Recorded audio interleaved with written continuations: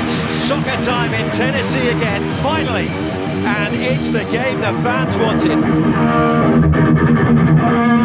Wants Leal up alongside him. He's got him now. Two in the middle. Good cross. Cádiz. John the Kiniz on target. Nashville back in this one. This is Leal returning with interest. Might beat him. He has